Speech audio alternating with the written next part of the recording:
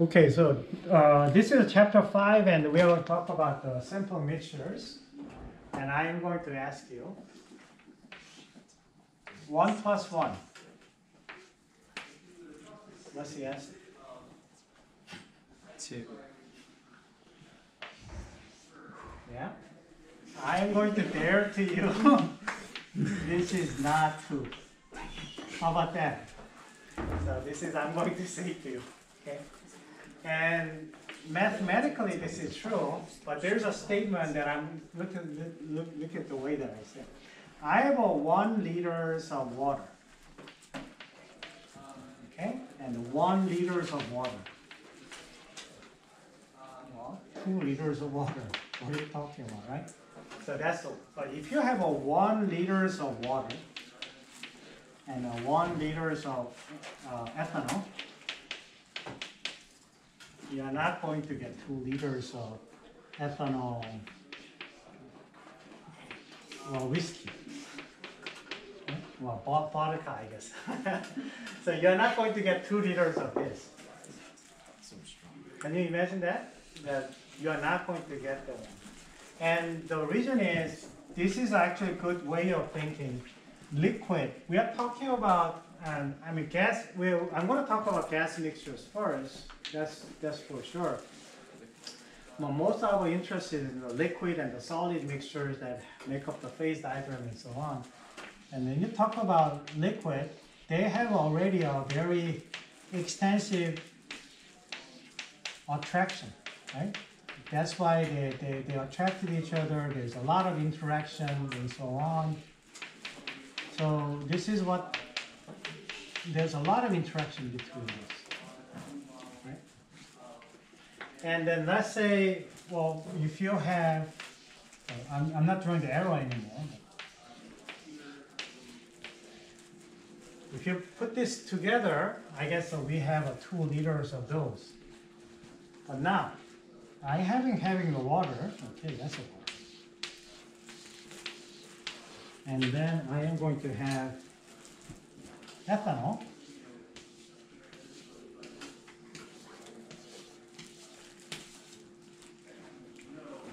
I'm going to mix them together. And what's going to happen?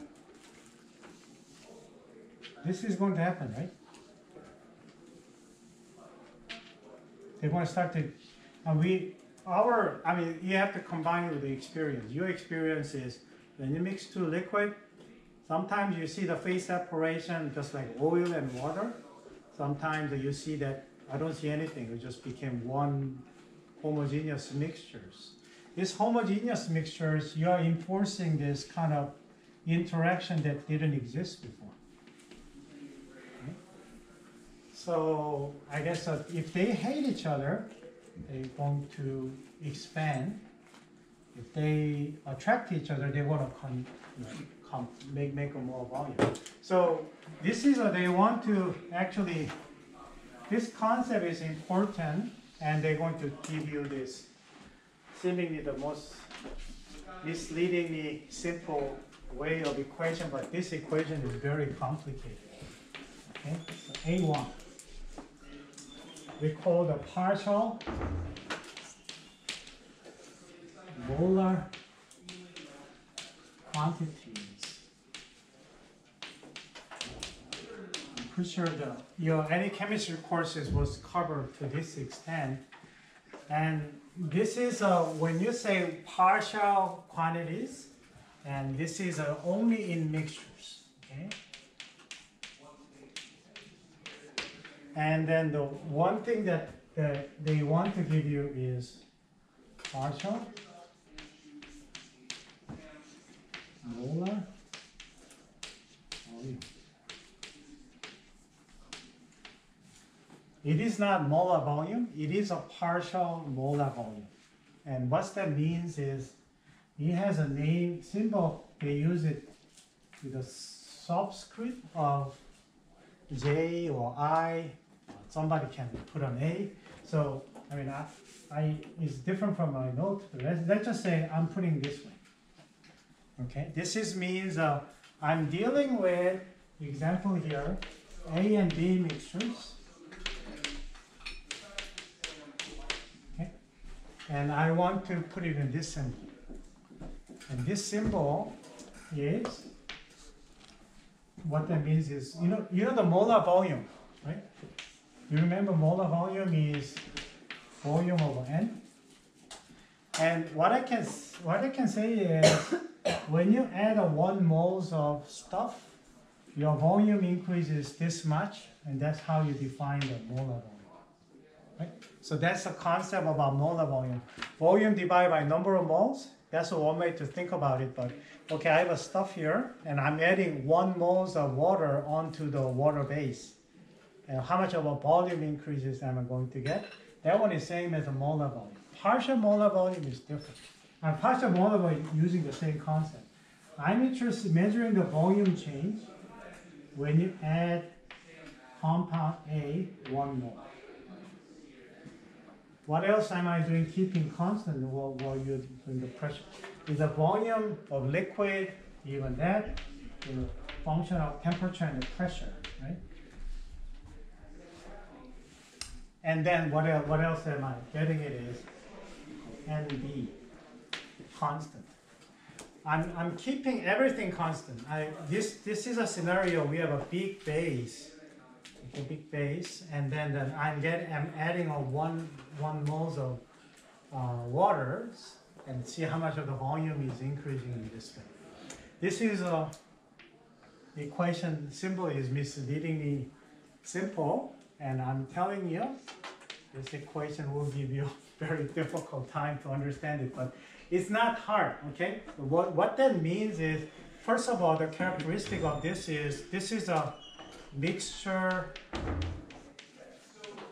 composition dependent.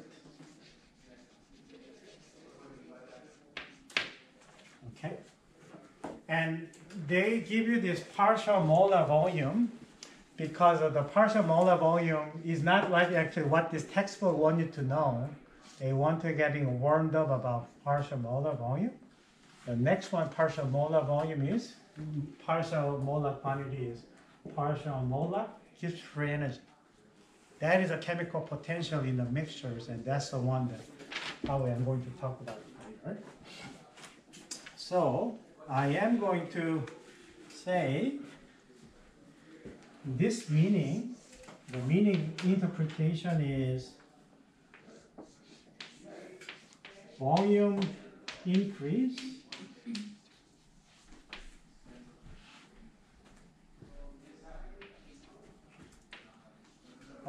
upon adding one mole of Na to the mixture.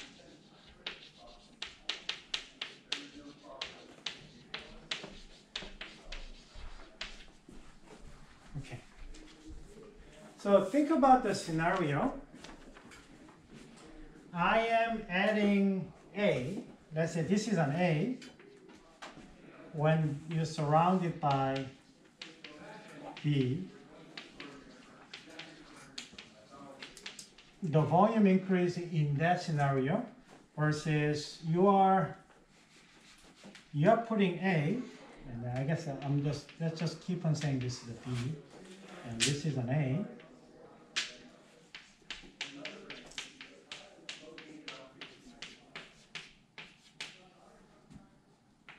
And you are adding now.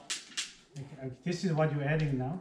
Let's say this is what you're adding. You're saying adding the same one moles of A. The volume increase in this scenario, this mixture composition will be different from volume increase in this scenario. Right? You have everything is A and a little bit of B, so it is a technically is a mixture. And by adding one moles of A, there's a volume increase will be there. Okay? So the, the partial molar volume for this scenario where A is a solvent and the increase is pretty much similar to the molar volume of pure liquid, whereas this scenario is going to be obscenely different. Right? You're putting in a pool of ethanol and you're putting the water just a one drop, and that the volume is changing a lot because of the un, unseen interaction that you never experienced before. So now, here is a here's a now more detailed understanding now. So this is a zero, this is a one.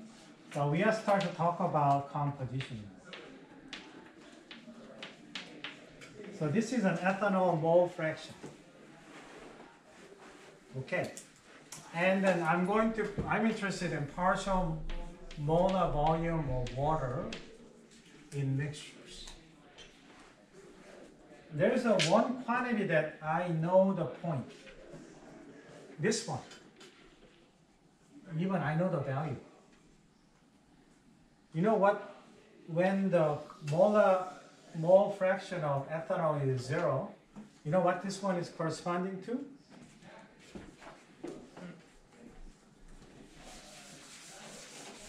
This one is what? Pure water. Pure water. This is like we are, we are talking about pure water. We are talking about this scenario. Right? I mean, I, I can put an A there, and there's a little bit of B there, but if everything is A, you're adding an A here. Right? How much of the volume increase when you add a one moles of water onto the water? One mole is how many grams? Water?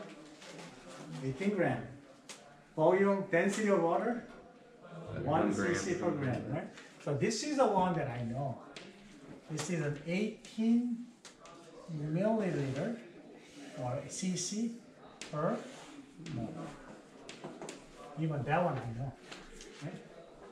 But when you go down here, nobody know how to predict it. Okay? So this is a this is an equation.